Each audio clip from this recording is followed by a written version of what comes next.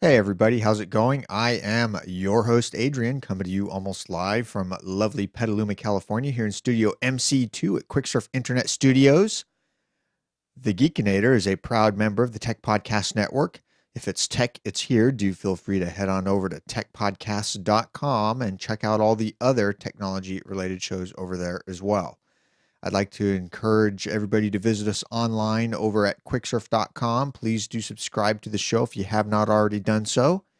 And uh, with that, let's go ahead and get into the cool stuff that I found uh, for this episode. Starting off over at TechCrunch, uh, they have a review of the iPhone 5C. Now, uh, the 5C uh, it will not be uh, available until uh, September 20th, I think, 18th, 20th. It's later this week, but uh, still, nonetheless, pretty cool. It's it's a few days away. They have a pretty in-depth review of it. if you're looking for a less expensive iPhone as opposed to the 5S, but you don't want the 4S, this might be a, a nice alternative. So definitely uh, give the review uh, uh, a read over if you are looking to get a new phone. From SlashGear, uh, they have an iPhone 5S review. Pretty neat. Uh, nice little rundown of a lot of the really cool stuff uh, that comes with the 5S. I thought it was a pretty interesting read. Um, I've got the 5 which I've had for less than a year now. Um, I've already dropped it once. You can see the little nick here. Let me get this up in front of the camera. You can see the little, uh, yeah, see that? Um, I don't generally put cases on my phones, but anyway, uh, I, I may be getting the next iPhone after the 5S, seeing as I can't really upgrade my current phone unless I pay some money, which I'm not that interested in doing. So, um, should be pretty interesting to see what Apple comes up with next year. From Hackaday, explaining the low level stuff you don't know about ARM programming. That's right. Most of us don't realize how spoiled we are with the different development environments available on the internets. If someone wants to start a blank project on a new ARM slash DSP slash whatever platform, he usually fires up the, the dedicated integrated development environment and starts coding a C or C program. However, there are many initialization routines and scripts required for with your program before it can run correctly. So he's got this great article that explains what these things are by starting a blank project without using any IDE. I thought this was pretty cool. This is definitely something you should check out, especially if you do any develop uh, embedded development. Um, definitely uh, an eye opener to say the least. Over at videocopilot.net, they have on their blog a new uh, posting. The main titles for Star Trek Into Darkness. They have a rundown of what how they uh, uh, created the titles for Star Trek, which are, by the way, absolutely gorgeous.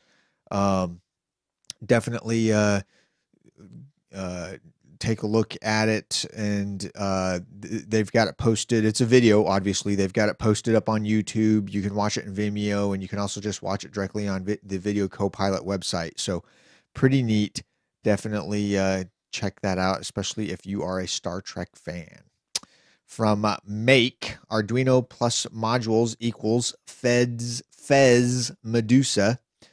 Uh, there's no denying the fact that everyone loves the ever popular Arduino. However, the shield approach used by Arduino, and I, you know, kind of take exception to the shield approach uh, to the Arduino, where you've got the two rows of pins here plus the header here.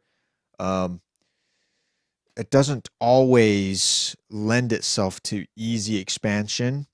Well, uh, there's there are other ways of doing this. There's a Gadgeteer prototyping platform um, that provides modules, and there's you know different ways to hook stuff up. So it looks like there's going to be a module-based Arduino derivative that will allow the use of Gadgeteer modules with Arduino, which is kind of cool. Um, it's a Kickstarter for the Fez Medusa. It was launched last week by GHI Electronics. The Medusa is a family of main boards and a shield that give Gadgeteer compatible sockets to the Arduino world.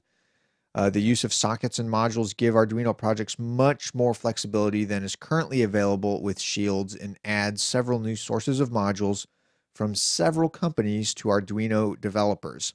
Also, if you have a collection of Gadgeteer modules already, then it's very likely you'll be able to use many of them with the Fez Medusa. So pretty awesome. Definitely take a look at that. From uh, lego.gizmodo.com, archaeologists use Lego to restore a 3,000 year old mummy sarcophagus. This is epic. The Fitzwilliam Museum in Cambridge recently restored a 3,000 year old mummy case using Lego frames. The sarcophagus is now restored to its former glory, complete with an internal Lego support system. This is just further proof that there's there's literally nothing that Lego can't do. Yeah, I agree. You know, Lego's a pretty big part of uh, uh, what goes on over here at my house. Uh, over at youtube.com, there's a, uh, a poster over there, Computerphile. Uh, is the channel name, and he's uh, got posted the CERN Computing Center and Mouse Farm. Pretty interesting walkthrough, very interesting walkthrough for uh, the CERN Computing Center. Um, I thought it was pretty cool. I thought I'd let everyone uh, get get themselves a watch as well, and uh, you know, definitely check it out. Uh, as always, everything is linked up in the show notes. That will do it for this edition of the Geekinator. As always, everything we've talked about is linked up in the show notes. And uh, please do subscribe to the show if you have not already done so. And with that, I will see all of you on the next episode. See you then. Bye.